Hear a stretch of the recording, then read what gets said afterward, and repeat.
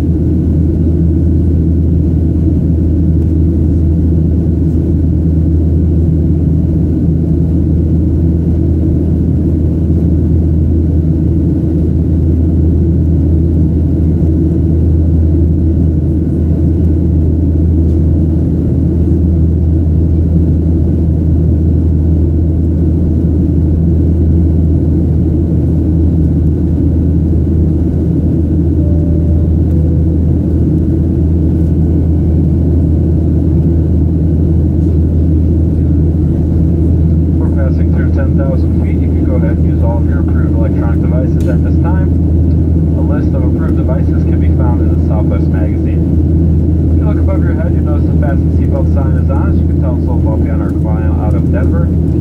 So we ask that whenever that seatbelt sign is on, you remain seated with your seatbelt fastened. If the captain feels it's safe for you to get up, they'll turn off the seatbelt sign. That will be your opportunity to use the lavatories.